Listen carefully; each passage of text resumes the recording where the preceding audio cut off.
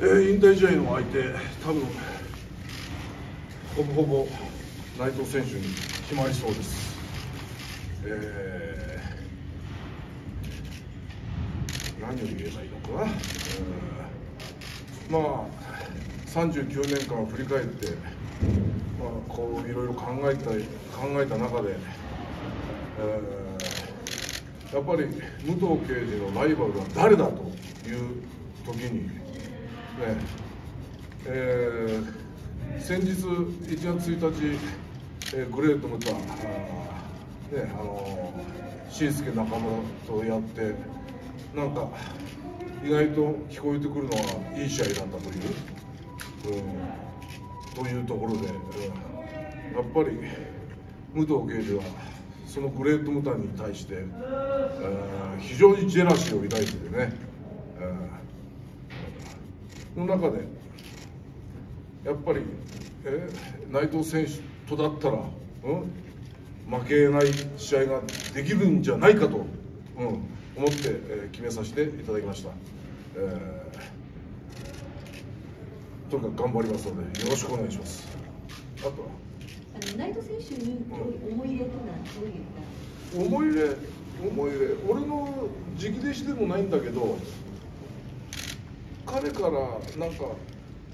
本当に無糖ラブっていうのをすごい感じましてですね、うんうん、だからある意味すごいいい距離感、うんうん、で試合ができるんじゃないかなって、うん、思いますね。はい、11年前に東京ドームでシングルをやったのは覚えてますか、覚えてますよ、うんうんうん、その時とは随分見た印象は変わりました、ね、うん、でちょっと今日解説席で同じことを言ってんだけどあのーその時はもしかしたら若い頃の俺みたいなオマージュで試合してる中で俺みたいな格好してる時はなんか人気なかったみたい。内藤選手。うん、それをやめてから人気が出たみたいで、そこがちょっと気に入らねえなと思いながら。うんうんいいですか？試合見て、あのどんな思いをました？いや、あのー本当にこう間近でね内藤選手の試合をねこう見るのって本当初めてに近いからこの前東京ドームで試合はしてるんだけど本当に接点なかったから、うんうん、の中でなんか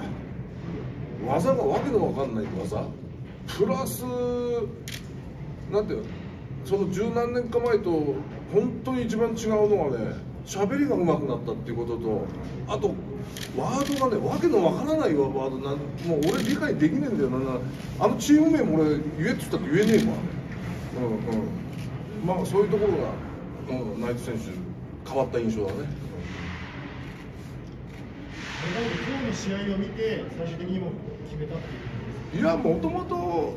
ねあの候補の筆頭にはね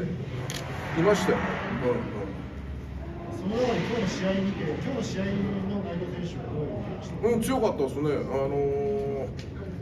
ー、わかんないけどね、またこれもなんか、俺が、た俺が感じることでね、動きもね、なんかね、あのー、攻めと、ね、この緩急が、ね、あって、なんか、やっぱり、ちょっと、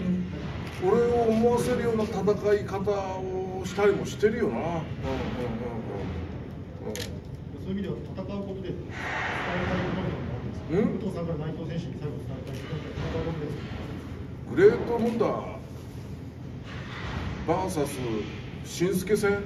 を超えようぜ、というところだよ、うん、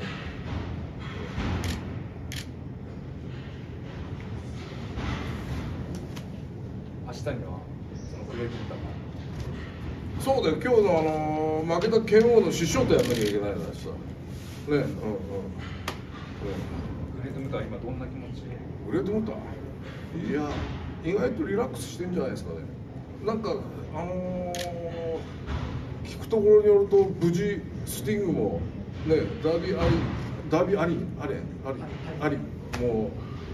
なんか到着したみたいで今ほっとしてあの今日はよく寝れそうですよきっと。グレートブタも。はい。OK OK? OK どうも。よろしくお願いします。